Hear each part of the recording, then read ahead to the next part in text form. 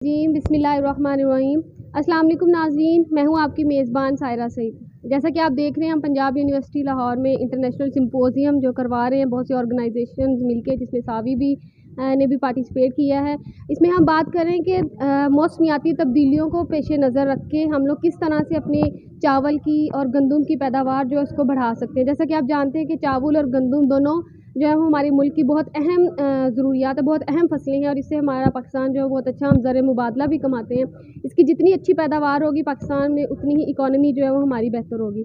तो इसी के साथ हमारे साथ सैयद सुल्तान साहब मौजूद हैं जो कि चीफ चीफ साइंटिस्ट हैं rice research institute Kala Shah Kaku पे। इन्होंने अपना सिम्पोजियम में भी अपनी जो है वो स्पीच दिया तो हम इनसे पूछते हैं कि इनकी जो है वो राइस ये मौसमियाती तब्दीली के लिहाज से इनकी क्या रिसर्च है या ये क्या इकदाम कर रहे हैं जिससे इस मौसम में जो है जैसे कि क्लाइमेट चेंज हो रहा है जैसे कि हम सब जानते हैं। तो इसमें राइस की प्रोडक्शन जो है इसको इंक्रीज़ करने के लिए कौन कौन से इकदाम हैं जो हमारे किसान कर सकते हैं? जी वालेकुम, सर।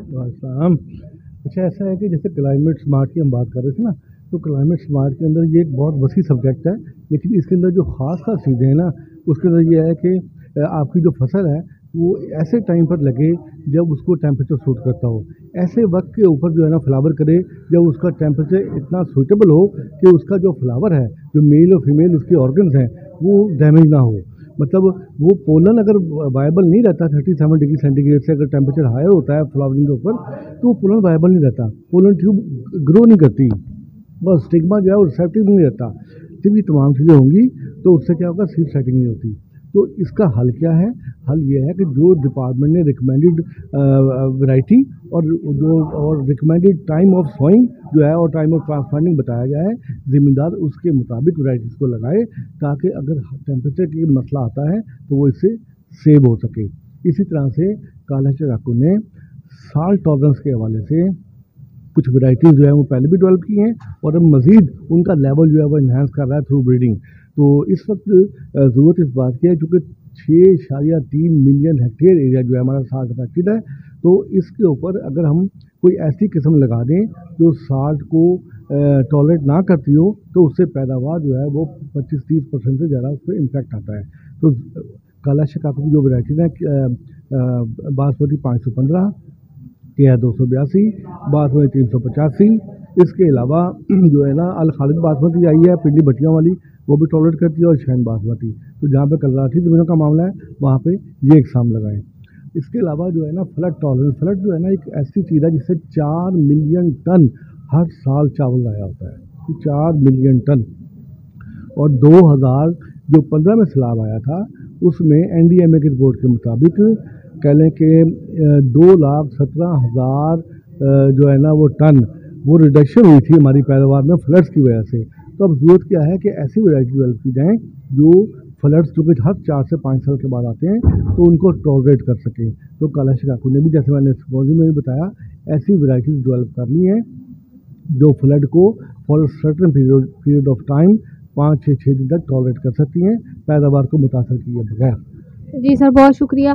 जैसा कि नाजरीन बताया सर ने कि अगर हमारे पास कलराठी ज़मीन है तो उसके लिए कौन सी ऐसी वैरायटीज़ हैं जिनको का, काश्तकार जो वो काश्त करें ताकि उनकी पैदावार जो है वो ज़्यादा इम्पेक्ट ना हो। सर जैसा कि हम देख रहे हैं वो क्लाइमेट जैसे कि बारिशें तो फिर भी हमारे चावल की फ़सल के लिए फ़ायदा मंद है उसके लिए नुकसान का बायस नहीं बनती जितना कि हमारी कपास की फ़सल के लिए थी। तो सर जैसे लेकिन हमारे क्लाइमेट चेंज में इस तरह चेंज आ रहा है कि गर्मी की शिद्दत बढ़ती जा रही है तो उसके लिए भी हीट टॉलरेंट वराइटीज़ भी पे भी काम कर रहा है अदारा या नहीं? मैंने पहले अर्ज़ किया कि टेम्परेचर का मतलब हीट टॉलरेंस तो हमारी कुछ वैरायटीज़ हैं जैसे किसान बासमती है पी के तीन सौ छियासी है ये हीट टॉलरेंट नहीं है। और वो वजह क्या है जो मैंने पहले बताया कि वक्त पर नहीं लगा। जो डिपार्टमेंट ने इनका रिकमेंडेड टाइम बताया है जिम्मेदार उस वक्त पे नहीं लगाता उससे पहले लगा होता है। अगर वो हमारे बताए हुए टाइम पर लगाए तो फिर वो फ्लावरिंग उसकी उस वक्त होगी जब जब रात का टेम्परेचर माइल्ड हो जाता है। और वो नुकसानदेह नहीं होता। तो यही मैं बार बार सजेस्ट कर रहा हूँ कि किसान बासमती हो, तीन सौ छियासी हो या कोई सी भी अर्ली मेचोरिंग वरायटी हो, उसको डिपार्टमेंट के रिकमेंडेड टाइम पे लगाएँ। दूसरी बात यह है कि पानी की कमी हो जाए तब भी प्रॉब्लम है, पानी की ज़्यादती हो जाए तब भी प्रॉब्लम है। पानी हमारे पास पाँच हज़ार चार सौ क्यूबिक मीटर अवेलेबल था, ठीक है ना? जो कि अब नौ सौ चालीस पे आ गया है। तो अब आप देखेंगे तीन महीने पहले हमें पानी की शॉर्टेज थी लेकिन अब बारिशें इतनी ज़्यादा हो गई हैं कि फ्लड आ रहे हैं। तो ये दोनों चीज़ें एट टाइप साइमल्टेनियसली चलती हैं। कभी कभी अकेले अकेले भी आती हैं और कभी ये इकट्ठी भी आई थी जैसे कि इस सीज़न में हम देख रहे हैं कि जून के अंदर हम ये प्रेडिक्ट कर रहे थे कि शायद राइस लगेगा कि नहीं लगेगा, क्योंकि पानी नहीं है बिल्कुल। सिंध गवर्नमेंट ने तो बिल्कुल बैन ही कर दिया था राइस की कल्टीवेशन लेकिन फिर अल्लाह की रहमत जोश में आई और बारिशें हुई और माशाल्लाह जो पचास लाख का जो हमारा टारगेट था, वो वो अचीव हो गया, वो अचीव हो गया। क्यों? कि पानी अवेलेबल है। अच्छा दूसरी बात ये कि ये जो कुछ लोग इतराज़ कर रहे हैं कि राइस राइस के एरिया में कोई और और फ़सल लगा ले, क्योंकि राइस जो है वो पानी ज़्यादा लेता है। तो राइस का एरिया जो है ना, ये पर्टिकुलर है फॉर राइस क्योंकि सदियों से सदियों से इस इलाके के अंदर राइस क्रॉप लग रही है। यहाँ पे बहुत सारी दूसरी क्रॉप्स भी जो है ना, वो लगा कर टेस्ट की गई हैं। लेकिन उनमें से कोई भी किस्म जो है ना, यहाँ पे, या क्रॉप यहाँ पे कामयाब नहीं हो सकी।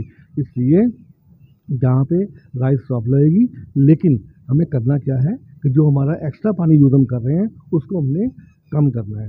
कम किया जा सकता है। बिल्कुल जैनवन बात है कि पानी की जो शॉर्टेज है, उसको सामने रखते हुए हमें जो क्रॉप की जो स्टेजेस हैं मुख्तलिफ़, जहाँ पे उसको पानी की वाकई ज़रूरत है, उस वक्त हम चाहे, हमें उसको पानी देना चाहिए।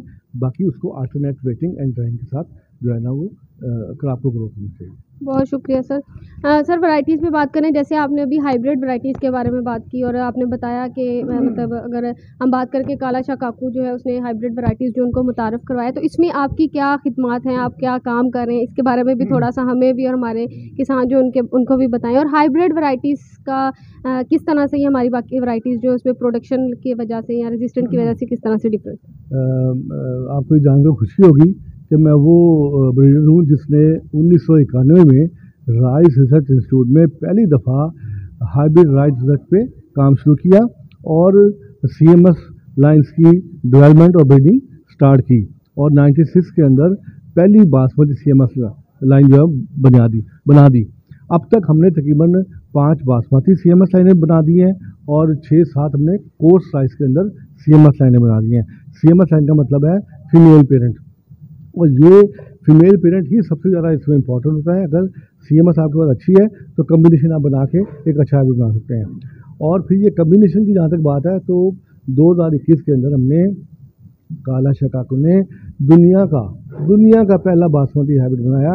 ये बासमती हाइब्रिड सिर्फ़ पाकिस्तान ने बनाया, इंडिया हमारा कम्पटेटर है, जो बासमती पे काम करता है और फिलिपीन में भी काम होता है और भी मुल्क काम कर रहे हैं। चाइना भी अब आजकल काफ़ी काम शुरू हो गया इस सवाल से, लेकिन अभी तक किसी को सक्सेस नहीं हो सकी। तो ये काला शकाकुआ कंट्रीब्यूशन है तो उसने दुनिया का पहला बासमती हाइब्रिड डेवलप किया जिसकी पैदावार का पोटेंशियल न्यूट के रिज़ल्ट के मुताबिक 115 मन तक है। जहाँ तक बाकी कोर्स साइज़ के हाइब्रिड्स की बात है तो हमारा हर साल चाइना से 9,300 मैट्रिक टन सीड इंपोर्ट करते हैं सिर्फ़ कोर्स हाइब्रिड का चाइना से जिससे बिलियंस ऑफ़ डॉलर्स जो है हमारे खर्च हो रहे हैं पाकिस्तान के। तो ज़रूरत इस बात की है कि ना सिर्फ़ काला शकाकू बल्कि हमारी प्राइवेट कंपनियाँ जो हैं, इसे लोकली डेवलप करें मटेरियल को, ताकि खती जो ज़र मुबादला बाहर जा रहा है, उसको बचाया जा सके। इसमें तो कोई शक नहीं है कि जो हाइब्रिड है, उसकी पैदावार 15 से 20 परसेंट आम कन्वेंशनल या ओपी वैराइटी से ज़्यादा होती है। इसीलिए मतलब इस, इसका जो है ना रुझान ऐसा ऐसा पाकिस्तान में बढ़ता जा रहा है। पहले सिंध के अंदर तकरीबन सिक्सटी परसेंट एरिया के अंदर लगता था। अब ये पंजाब के भी बहुत सारे इलाके जिनके अंदर ओकाड़ा, पाकपतन, साहिवाल हाफजाबाद कसूर, वो इलाके जहाँ पे पहले कोस्ट साइड लगता था, वहाँ पे अब ये हाइब्रिड जो है ना वो बड़ी तेज़ी के साथ मकबूल है जी सर बहुत शुक्रिया। सर जैसा कि आपने कहा कि आ, हमें अपने लोकली जो है वो हाइब्रिड्स हैं या वैरायटीज़ हैं उनको बनाना चाहिए। इसमें कोई शक नहीं है कि हमारे पाकिस्तान में बहुत टैलेंट है। हमारे पास ब्रीडर्स भी हैं हमारे पास साइंटिस्ट भी हैं हमारे पास लैब्स भी हैं। तो सिर्फ़ एक ज़रूरत है तो मोटिवेशन किया ताकि हम जो है अपनी लोकली जो है वो अपनी वैरायटीज़ को प्रोड्यूस करें ताकि हमारे जो बाहर हम पैसा खर्च करते हैं वो भी बचे और दूसरा ये कि हमारी अपनी पाकिस्तान की इकोनॉमी भी बेहतर हो। सर आपने जो डायरेक्ट सीडिंग होती है उससे रिलेटेड भी काला काकू में जो है वो वैरायटी पे काम किया जा रहा है। तो उसके बारे में अगर आप थोड़ी, क्योंकि अगर हम देख रहे हैं तो बहुत से लोग जो है वो शिफ्ट कर रहे हैं डायरेक्ट सीडिंग की तरफ़ चावल की काश को। तो इसके बारे में वो वैरायटी कब आएगी, कब उसको आप लॉन्च करेंगे प्रॉपरली, इसके बारे में भी थोड़ी सी डिटेल बता दें। बिल्कुल बड़ा अच्छा सवाल किया आपने। डायरेक्ट सीडिंग के अंदर दो इशूज़ आ रहे थे मेन पहले तो ये था कि ज़मीन लेवल नहीं होती थी। वो इशू हमने हल्का दिया, लेज़र आ गए, ज़मीन लेवल हो गई। दूसरा इशू आ गया, इसके अंदर वैरायटी कोई ऐसी थी नहीं कि जो सुइटेबल हो डायरेक्ट सीडिंग के लिए। तो अब काला शाह काकू ने इस साल स्पॉट में हमारी वैरायटी आ गई है। तमाम नीट के रिज़ल्ट वगैरह आ चुके हैं उसके और बिल्कुल अपनी फाइनल स्टेज पे अप्रूवल के। तो दो हज़ार बाईस में इंशाल्लाह उसका स्पॉट हो जाएगा। तो दो हज़ार अगले साल मेरा ख्याल है कि क्रॉप सीज़न से पहले पहले इंशाल्लाह वो अप्रूव हो जाएगी। अच्छा तो ये जो है ना, इसमें दूसरा प्रॉब्लम आता है वीड्स का। तो वीड्स के बड़े बड़े अच्छे अब जो है ना, वो आपको कह लें वीडिसाइड अवेलेबल हैं, जो पहले अवेलेबल नहीं थे। तो अगर हम, वही है कि डिपार्टमेंट ने जो रिकमेंड किया है कि ये ये वीडिसाइड इस्तेमाल करें, इतनी डोज इस्तेमाल करें और इस लीव स्टेज के ऊपर इस्तेमाल करें। अगर आप उसको प्रॉपर लीव स्टेज के ऊपर प्रॉपर डोज के साथ जिम्मेदार हमारा उसको अप्लाई कर दे तो मैं आपको यकीन दिलाता हूँ कि बीट्स का प्रॉब्लम भी हल हो जाता है। और ये टेक्नोलॉजी ही ही फ्यूचर है राइस का। इसमें वाटर सेविंग भी है और ज़िम्मेदार की जो कॉस्ट ऑफ़ प्रोडक्शन है वो भी कम होगी। और पैदावार जो है उसको कोई कोई कोई उसका नुकसान भी नहीं होगा। तो इस हवाले से हमारी जो वैराइटीज़ है S D S R one के नाम से जो है ना वो डेवलपमेंट के आखिरी मराहल में है। जी सर बहुत शुक्रिया आपके टाइम का आपने वक्त दिया।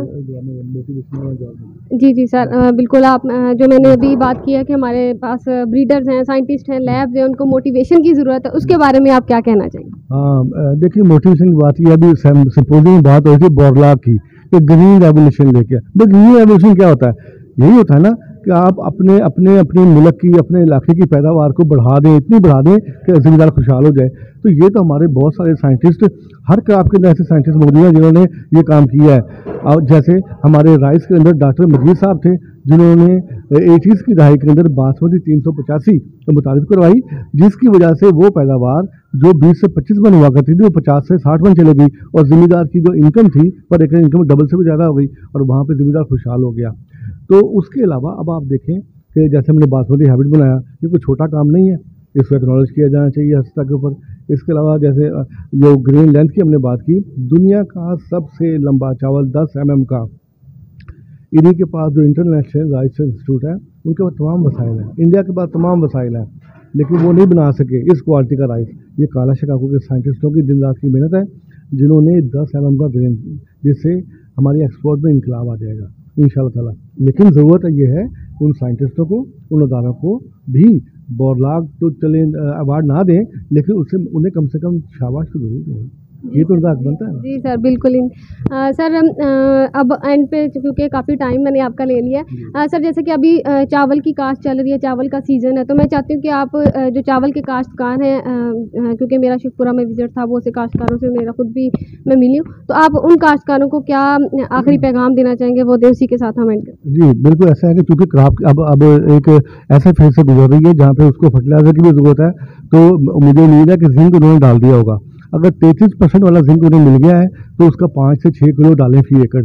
अगर इक्कीस परसेंट वाला या इससे कम परसेंटेज वाला है तो उसका फिर दस किलो वाला डालें, एक सौ लाजमी डालें जो है। उसके अलावा यह है कि अगर क्रॉप को लगे हुए तकरीबन पैंतीस चालीस दिन हो गए हैं तो उसको अब उसकी एक डोज की ज़रूरत है। उसकी एक डोज की उसकी ना अपनी पोटाश पोटाश और अब पोटाश और यूरिया की आधी आधी बोरी जो है ना, वो स्टेज पर डालें। उससे क्या होता है कि आपका जो पैनिकल है ना, उसकी डेवलपमेंट बहुत अच्छी होती है। तो ये एक स्टेज है जिससे अभी हमारी फ़सल गुजर रही है। तो इसको बिल्कुल जो है, जो फर्टिलाइज़र जो है ना, खासतौर पर पोटाश और यूरिया इसको डालना बिल्कुल लाभ है बहुत शुक्रिया, सर।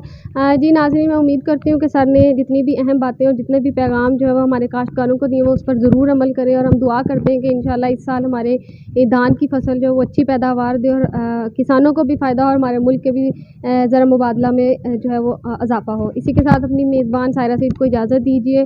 अल्लाह हाफिज़। मज़ीद मालूम और बर वक्त आगाही हासिल करने के लिए सावी के तमाम सोशल मीडिया अकाउंट्स के साथ जुड़े रहें। और सावी की ऐप को प्ले स्टोर से डाउनलोड करके फ़ायदा उठाएँ। शुक्रिया।